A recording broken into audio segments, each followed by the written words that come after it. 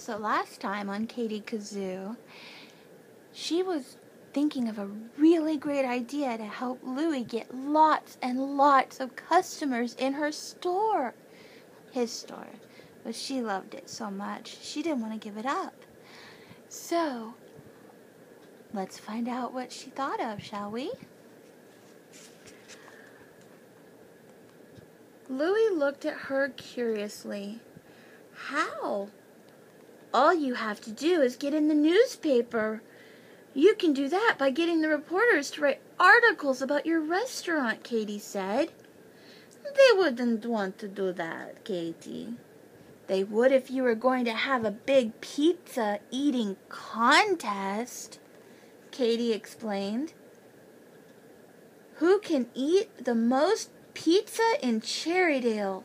That would be big news. Louie looked at Katie. You sure have big ideas for such a little girl. He laughed as he pulled out a pencil and paper.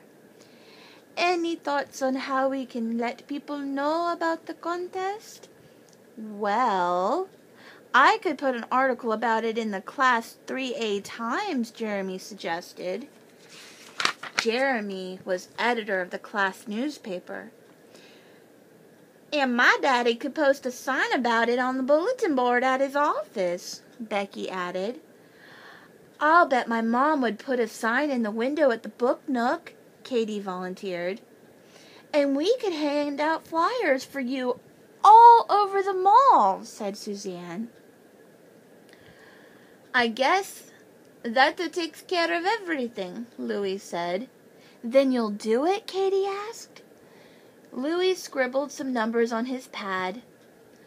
Well, if I charge ten dollars a person to enter the contest and five dollars a person to watch the contest, I might be able to afford it. Great! Then you won't have to move to Florida. Hmm, let's wait and see, said Louie. Hey, Katie Kazoo, my mom said I could enter Louie's pizza eating contest, George announced in the schoolyard Monday morning. Katie smiled. I knew you'd be the first to sign up. No one likes to eat as much as you do, George. Just then Katie strolled onto the playground. Guess what? he asked the others. I'm entering the pizza eating contest. I can't wait to sink my teeth into Louie's yummy tomato sauce. Kevin said he was wild about tomatoes. George stared at Kevin. What do you mean you're entering the contest? I'm entering the contest. So, said Kevin, we can both enter the contest. Of course, I'll win. Don't be so sure, Kevin, Jeremy said. You know what a big eater George is. Oh, please, Suzanne butted in. Kevin is already the tomato eating champ of Cherrydale Elementary. He'll definitely win.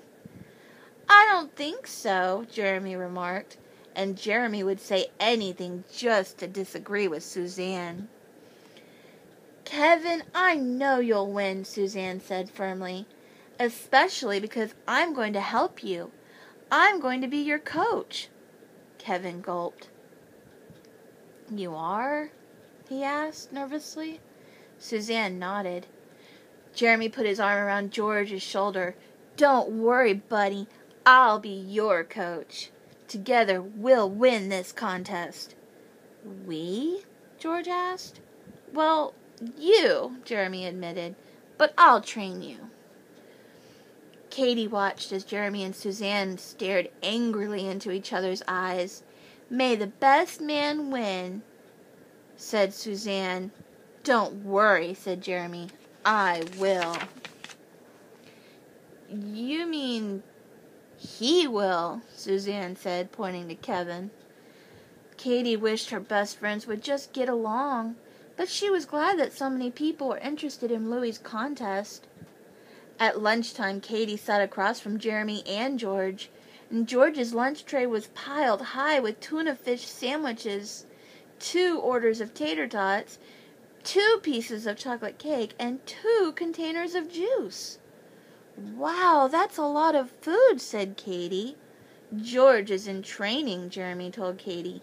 He has got to practice every day and every night if he wants to eat and win that contest. Katie watched as George stuffed half a tuna sandwich into his mouth and chewed. Oh, George, Mandy Banks moaned. Don't chew with your mouth open. That's so gross. He can eat anything any way he wants, Jeremy said, as long as he eats a lot and he's fast at it. George shoved six tater tots into his mouth. Yeah, he mumbled with his mouth full of food. Just then Suzanne and Kevin came to the table, and as usual Kevin's tray was stacked high with tomatoes. He also had a tuna sandwich, tater tots, and a piece of cake. Okay, Kevin, here's the deal, said Suzanne. You have to eat fast so you can get the slices of pizza before anyone else. See them stuffing food in their mouths? That means you've got to learn the two-handed munch-out rule. The what? said Kevin. The two-handed munch-out rule. You have to be able to shove food into your mouth with both hands at the same time. Are you nuts? Kevin asked her in disbelief. Suzanne put her hands on her hips. Look, do you want to win this contest or not? I guess so, said Kevin. Good. Now go. Katie watched as Kevin and George shoved cafeteria food down their throats. They seemed fine at first, but after a while both looked a little sick. George was the first to stop. I can't eat another thing, he told Jeremy. Jeremy stared at George's tray. There were just four tater tots left.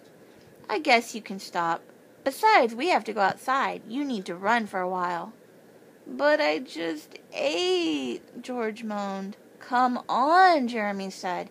You have to be in shape if you're going to be the pizza king. Suzanne wasn't letting up on Kevin either.